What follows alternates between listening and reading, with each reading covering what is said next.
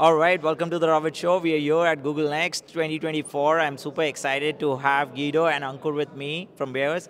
Uh, very excited to host you both on the Ravit Show uh, and chat about the key announcements that were made, about what's happening at Bayer, and much more.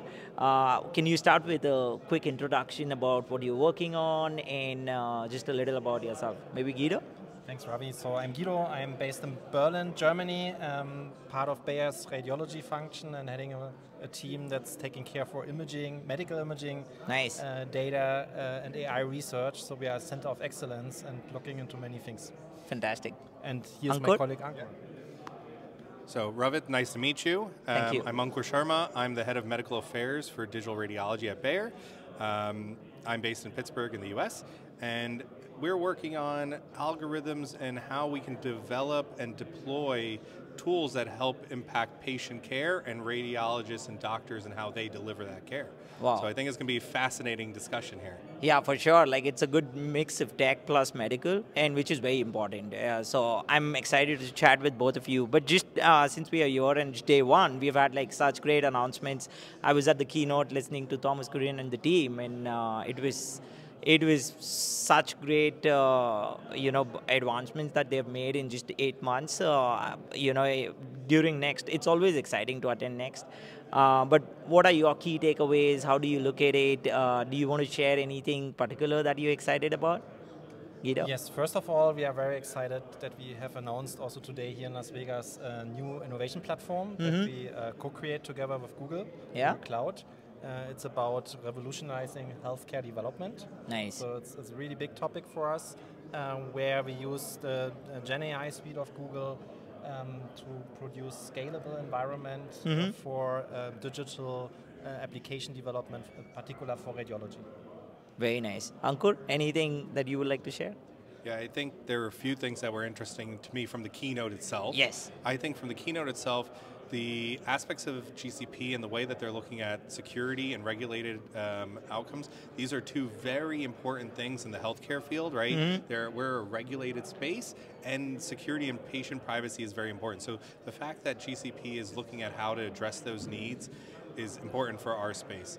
Additionally, super excited about our announcement with Google. Right? Yes. This is this is the I think honestly the showstopper for us. Uh, to exactly. be selfish. uh, but in that, I think exactly what Guido said. The, the, announcements behind their new TPU structure, their architecture for development of AI, and how that relates to what we want to do in healthcare and generate AI that can be used to further patient care, and how we're doing that approach from our joint platform, all goes hand in hand is going to be super exciting. Mm, very exciting. And uh, thanks for those insights. Also, quickly, uh, you know, I wanted to I know AI is the talk of the town, uh, but at the same time, when we are talking about medical and healthcare, AI is so critical as well. Like you need to be very sure about when you're implementing AI. So, what are some of the challenges that you see when implementing AI in the, uh, you know, in the healthcare system? And but at the same time, what, how do you see it advancing very quickly when you actually get those challenges through? Ankur, you first. Uh, so I think you know it's a great question, and there's a couple of things. One is the digitization of healthcare. Mm. Right, uh, healthcare is not all digitized. Right. So, piece one is the digitization. Uh, radiology is a great place for that because imaging is digital there, so it's easy to have AI there. The second piece that was important in that is that. Um, when we talk about delivering this and having the data behind it, AI has to be understood. You can't just do whatever you want. So True. we actually have to teach physicians what it means to have the AI and how to interpret the outputs of the AI. Exactly. So that yeah. it's used as a powerful tool that it is, as opposed to creating conflict and challenges in patient care. Mm. So there is that aspect. And then the last piece of it uh, that I think a lot of people forget about is uh, how AI can help enhance the patient side of it because doctors talk to doctors in their own language. Yes. Doctors talk to pharmacists in a different language. Exactly.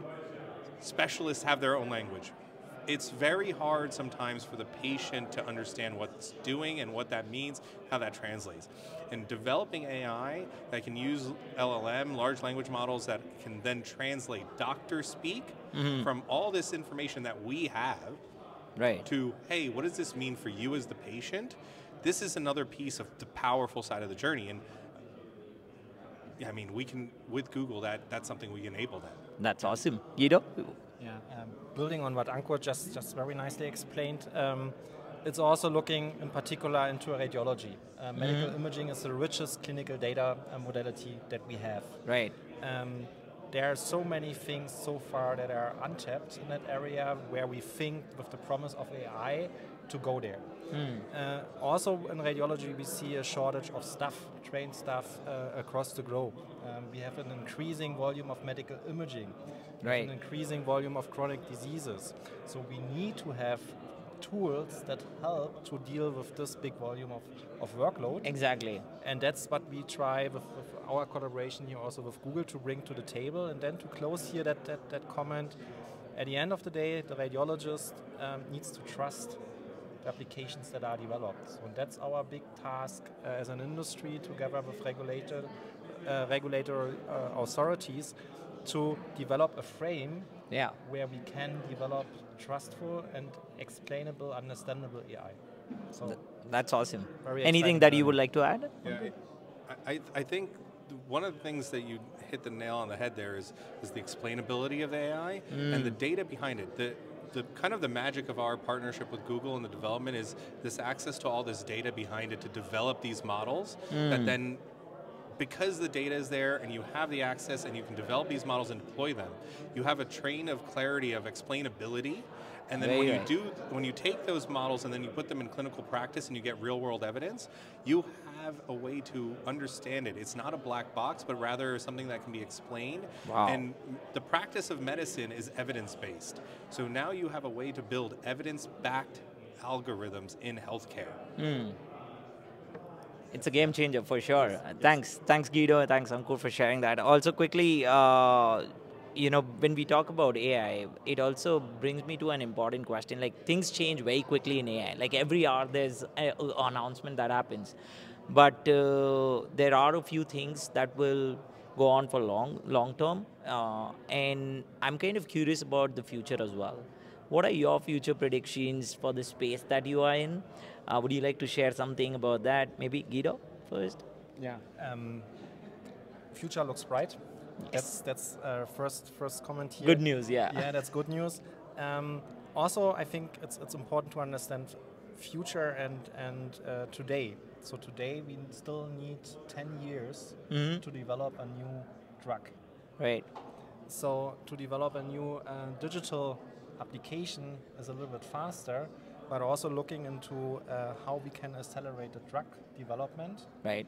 And understanding again the role of medical imaging also for drug development, mm. the role of imaging biomarkers, the role of maybe producing digital twins right. to predict the behavior of a certain molecule in a human body.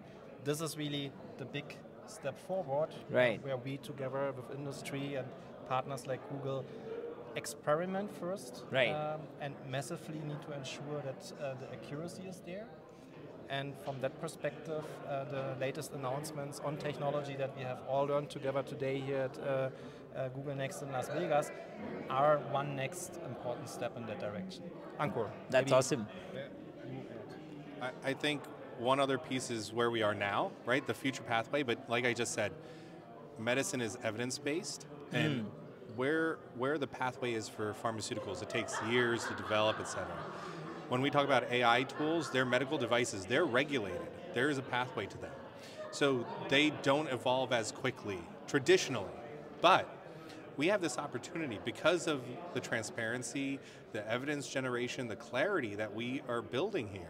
Right. We have an ability to generate evidence and get these algorithms out in a way that's able to impact quicker. So you're going to be able to iterate these software as a medical device tools quicker in a better way so mm-hmm. they're able to actually have a better impact. You might release a, an algorithm the first time you build an algorithm, maybe it's it works 20% of the time. Hmm. But as you iterate and you fine tune it and you get it to that 80, 90, 95%, Wow, yeah. right? That's where you can make impacts. And that requires this transparency of having having the data sources, having the data sources annotated and correctly identified. It all builds to building these strong algorithms. And that's going to help iterate to change the future of how medicine is done.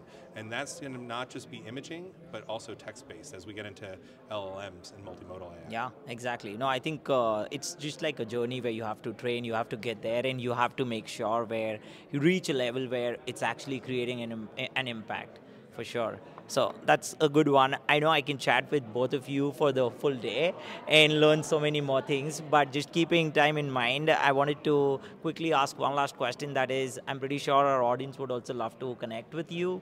So which is the best place? Is it LinkedIn, email, or any other place where you blog or anything that you would like to share? Guido? So it, for me, it would be LinkedIn. Okay. Uh, you will find my name there very easily, or just follow the Bayer Pharmaceuticals uh, page in uh, X and LinkedIn. Okay. And for Ankur, maybe LinkedIn. Yeah, LinkedIn. Uh, email is buried. LinkedIn. LinkedIn. Great, yeah. All right. So you guys can catch up with Ankur and Guido at LinkedIn. Thanks again for doing this. It was such a pleasure hosting you both on the Ravit Show. Thank you so much. Thank you. Thank you.